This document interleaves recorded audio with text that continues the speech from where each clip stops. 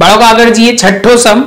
એક બેંકમાં નોકરી કરતા ચાલ ચૌદ કારકુન, છ પટાવાળા અને ત્રણ કારકુન.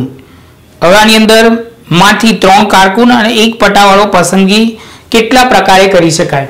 વર્ડ ધ્યાન રાખજો, પસંદગી છે. દર વખતે હું હાઇલાઇટ કરું છું જે અગત્યનો પોઈન્ટ છે. તો અહીંયા આપણને આપેલું છે કે ચૌદ કારકુન અને છ પટાવાળામાંથી ત્રણ કારકુન અને એક પટાવાળાની પસંદગી નીચે મુજબ કરી શકાય. જેના કુલ ક્રમ છે, એવું વર્ડ લખવાનું. તમે બાળકો, તમે કહેશો કે સર, તમે દર વખતે કુલ ક્રમ છે, કેમ બોલો છો? બાળકો ક્રમચય નહીં સોરી એ સંચય બોલવાનું એ ધ્યાન રાખવાનું છે. કુલ સંચય, તો બાળકો, આપણે લઈશું. ચૌદ હતા કારકુન. અને આની અંદર હતા કારકુનમાંથી ચૌદ કારકુન અને અહીંયા છ પટ્ટાવાળા જેમાંથી તમે કહેશો કે સર, અહીંયા લીધા ત્રણ કારકુન અને અહીંયા એક પટાવાળો. તો આની અંદરનો સૌથી પહેલી શરૂઆત કરીએ તો બાળકો તમે કહેશો કે સર કેટલા આવશે તો સમજજો. તો આ સમજવા માટે લખાવું છું. આ કંઈ લખાય નહીં આ તો તમને ઈઝી પડે એના માટે.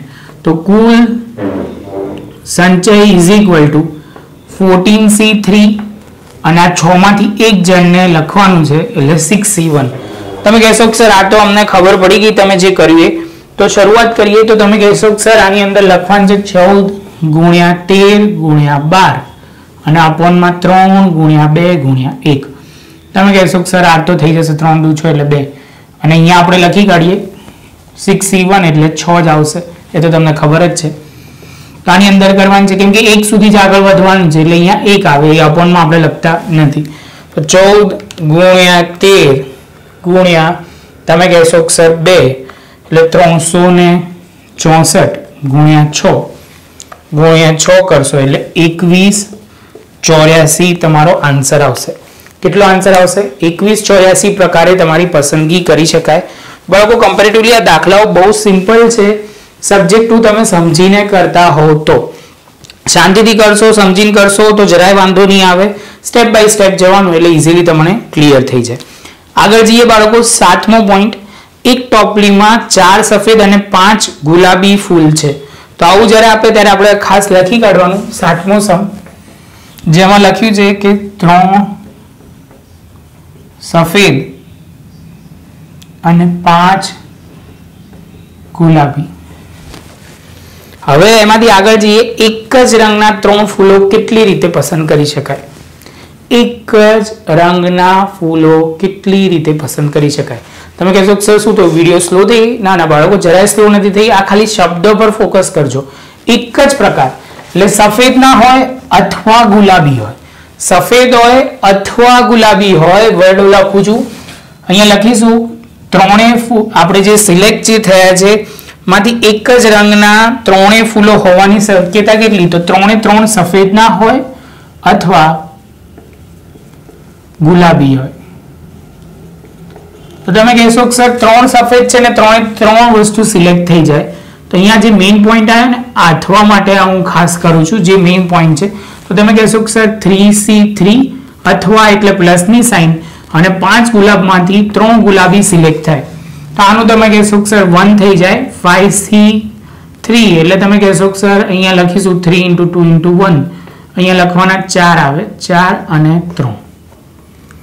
એટલે તમે કહેશો સર આ કટ આની અંદર કરો તો બે, એટલે થઈ જાય દસ પ્લસ એક, એટલે અગિયાર. બાળકો, ફરી એક વખત સમજાવું છું, બે ઓપ્શન બની શકે.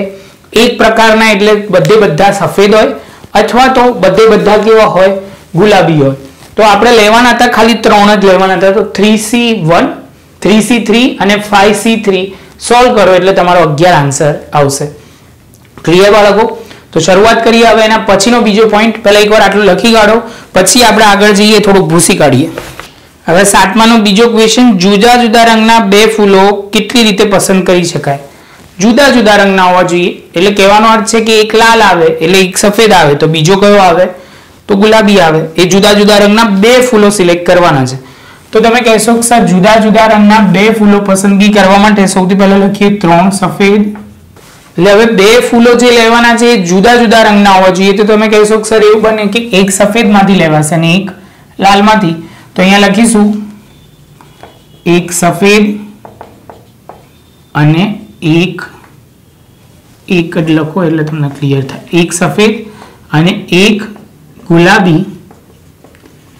એના કુલ સંચય is equal to three C one into five C one તો અહીંયા ત્રણ, અહીંયા પાંચ એટલે પંદર. એની સાથે બાળકો, તમારો આ પોઈન્ટ પૂરો. હવે શાંતિથી પહેલા લખી કાઢો, પછી આપણે આગળ. ચલો બાળકો, આઠમો જે બહુ જ અગત્યનો, બાવન પત્તાની જોડમાંથી બે પત્તા યાદચ્છિક રીતે પસંદ કરવામાં આવે છે. એટલે બાવન પત્તામાંથી બે પત્તા લેવાના છે. બંને પત્તા લાલ ના કેટલી રીતે પસંદ કરી શકાય? તો બાળકો, એટલું સમજી લેજો કે કુલ કેટલા હોય તો લાલના. તેર પત્તા હોય. ફલ્લઈના તેર હોય, કાળીના તેર અને ચરકટના તેર. બધાના તેર હોય ટોટલ કરો એટલે બાવન થાય. ક્લિયર બાળકો? લાલના કેટલા હોય? લાલ રંગ કે ને તો અલગ ગેમ થઈ જાય, પણ લાલ ખાલી કીધું છે એટલે આપણે તેર પત્તા સમજીશું. આગળ લાલ રંગનો પણ આપણે કન્સેપ્ટ ડિટેલમાં જોઈ લઈશું. આગળ જઈએ બાળકો. તો બે પત્તા લાલના કેટલી રીતે પસંદ કરી શકાય? તો તમે કહેશો સર, લાલના પસંદગી કરવાના કુલ સંચય ઇઝ ઇક્વલ ટુ તેર સી ટુ. એટલે તમે કહેશો સર તેર ગુણ્યા બાર ગુણ્યા બે ગુણ્યા એક. એટલે તમે કહેશો સર અહીંયા આવશે છ. બાર, છ, બોતેર. એટલે કુલ સંચયો બોતેર આવશે. બરાબર બોતેર નહીં, ઇઠ્યોતેર આવે. કેમ કે તેર, છ ઇઠ્યોતેર.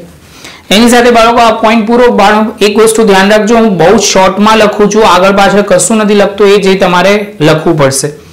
આગળ જઈએ બાળકો, હું જે બોલું છું એ તમારે લખવાનું છે એક જ લાઈનમાં, એટલે તમને બહુ વાંધો આવશે નહીં. આગળ જઈએ, એક પત્તું રાજાનું ને એક પત્તું રાણીનું હોય તો કેટલી રીતે પસંદ કરી શકાય? તો બાળકો, કુલ કોઈ પણ કેટની અંદર કેટલા રાજા હોય? તો કુલ ચાર રાજા હોય.